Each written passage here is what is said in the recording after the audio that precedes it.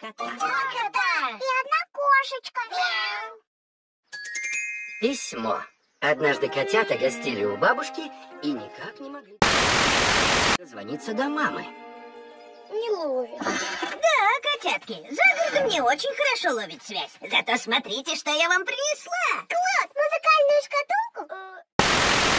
Хе-хе, Письмо. Его написала мне ваша мама, когда была маленькой, прямо как вы, и отдыхала в детском лагере. Письмо? У мамы тоже связь не ловила? Что ты, компотик, тогда мобильные телефоны были редкостью. Мы с вашей мамой любили писать друг другу письма, даже когда расставались ненадолго. Было так радостно находить их в почтовом ящике.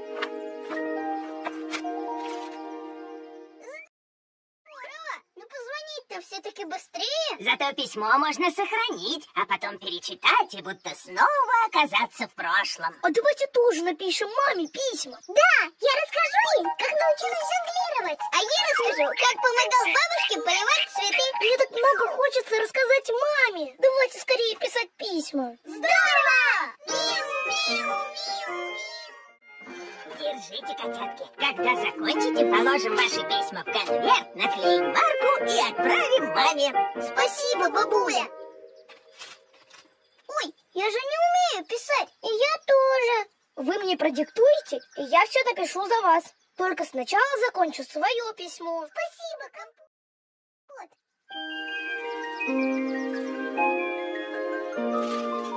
Эм, хм, Дорогая мама. Нет, не то.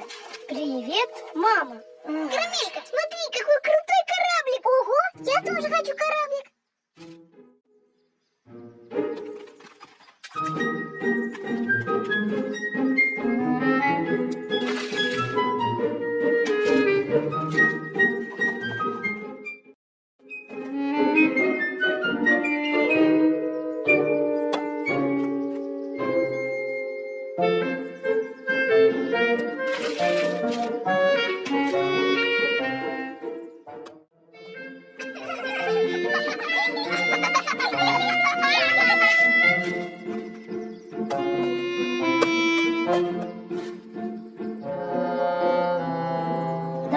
Напишу письма для вас.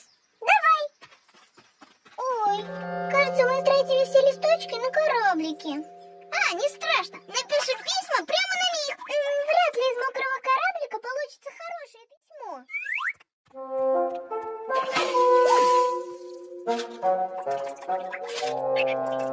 Значит,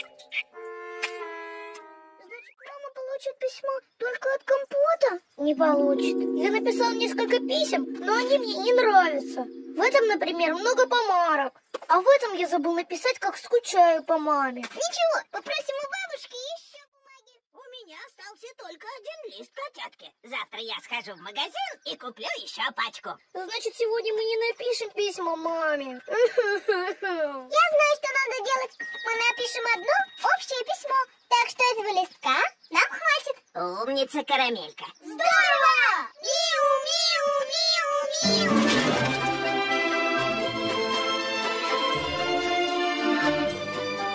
Письмо начинается так.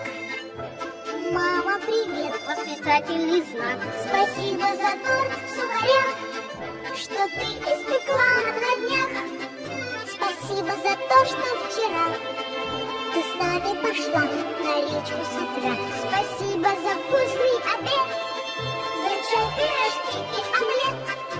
Спасибо за сны, за краски весны, за вкусный пломбир и за весь этот мир.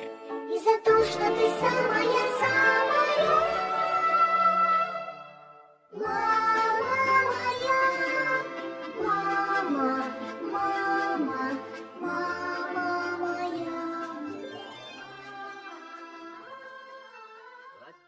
Котята все-таки написали маме письмо.